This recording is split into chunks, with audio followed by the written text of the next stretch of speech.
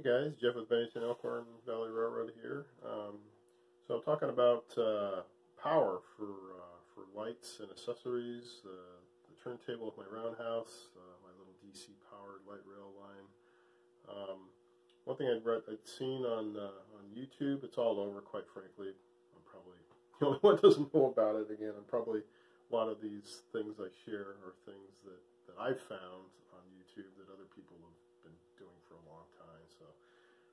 this is what I'm doing. Um, I've got, being a computer guy, I've got tons of these old PCs, these desktops, and what a lot of people are doing is they're using the power supplies from these old PCs to power their layout.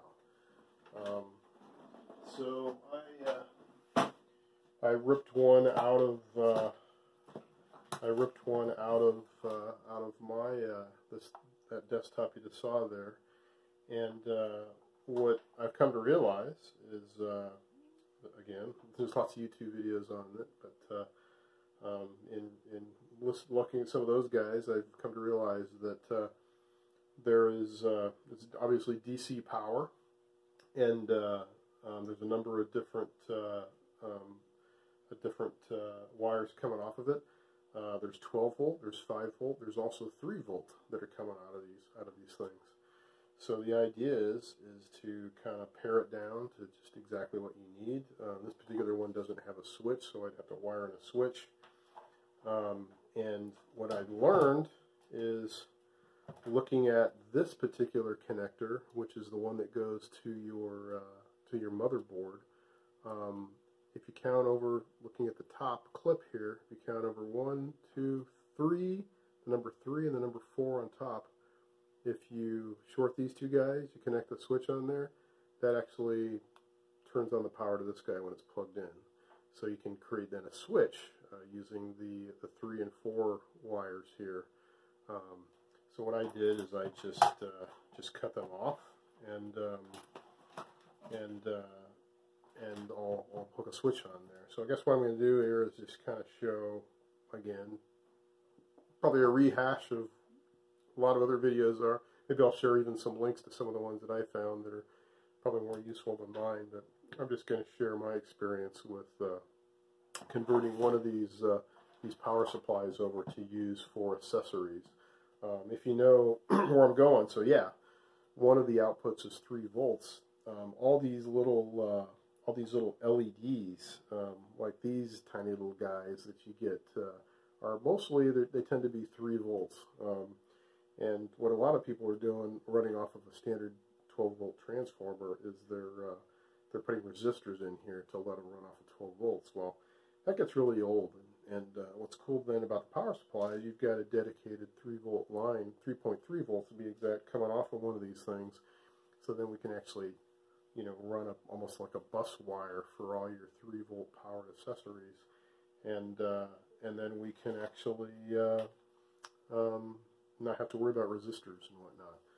Um, in addition, we can use a dedicated 12 volt wire to run off uh, some dedicated DC accessories. Obviously, I can't run off the DCC bus, um, so running off the 12 volt wire off of the power supply, um, I can do things like run my uh, my turntable with the roundhouse, or uh, like I said, the the light rail line. I've, I've the, um, that that unit actually is a DC powered unit. So um, so yeah, I'll kind of walk through that. So yeah, here's what I did. I literally just cut off, cut all the different the SATA device, hard drives and disk drives, all the adapters for those old interface uh, SATA drives. I cut all those wires off. Um, the, uh, the the one that goes to the motherboard, I'm actually going to lop it completely off at the power supply gonna, I think I'm going to use like a, seeing, seeing this done on YouTube, seems pretty safe. I'm going to use a glue gun to basically completely cover up the, the ends of those and I'm going to leave it sealed inside of the, inside of the power supply here. So that pretty much just leaves all the wires that we're supplying those SATA devices here, which will be more than enough power that I'll run to my, uh, my terminal block, which I misplaced here. I'll run to one of these uh, terminal blocks here. So it's going to cut through all these guys here, fortunately. The big boys.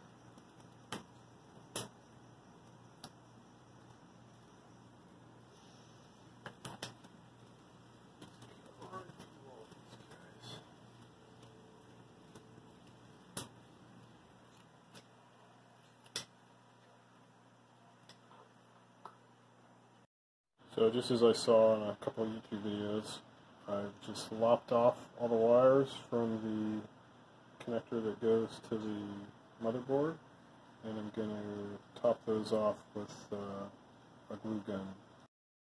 And there's what the wire bundle that went to the uh, motherboard looks like, covered with uh, glue from a glue gun. And it is running. Checking to make sure there's nothing shorting out here. All looks good. And again, here's all the wires left over from uh, that went to the SATA devices, which will ultimately go to my uh, terminal block.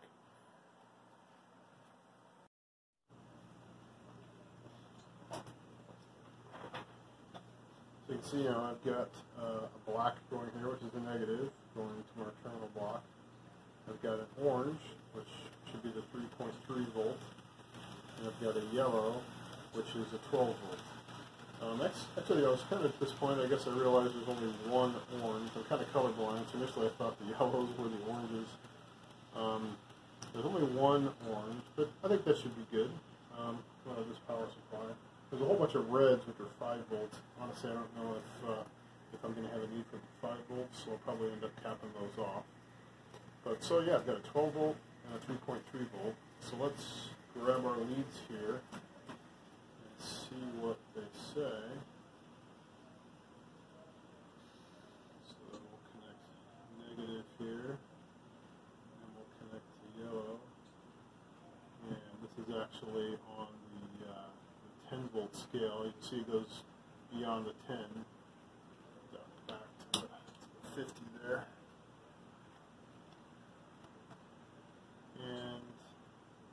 yeah, it's reading about 12, so I think we're I think we're getting 12 out of there. It went beyond the 12 and uh, went beyond the 10 and the 10 scale, so I think we got 12 volts coming out of there.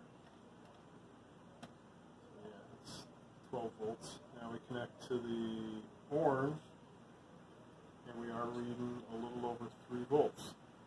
So it looks like we've got exactly what we're looking for here. So here I've got one of these uh, cheap Chinese LEDs. Um, I can't tell how many of these to burn out trying to figure out resistors for these. Um, eventually did, but it's kind of a pain to add a resistor over one of these little lights. So the whole idea of having a 3 volt circuit off of an old computer power supply like this is really appealing. So anyway, I went ahead and moved the negative over right next to the 3 volt one so I didn't have to run a wire to this thing because I'm kind of lazy at the moment. Just want to get instant gratification, see if it works. So let's just try hooking this guy on here. And look at that. And let's see if we, this is actually a color rotating one. If it had too much voltage, the thing would be popping out here. But it's not. It's uh, it's cycling through each of its colors. Isn't that pretty? I'm not sure what the application would be on a model railroad, but it works for testing our circuit here. So there you go. 3 volts directly to the uh, LEDs. We'll be able to run this under the layout and uh, run some lighting off of it. Oop, there's my flash. Isn't that cool? anyway. Thanks for watching. Here's the real acid test here. I actually burnt one of these out, trying to get it to work. And they're not real cheap, quite like the, uh, the cheap Chinese LEDs. These are, well, Chinese too, no doubt, but these are these little street lights, which are really tiny LEDs. And uh, there it is on the 3.3 volts. Looks, uh, looks good. So, Lighting on the Bates Oakland Valley Railroad coming soon.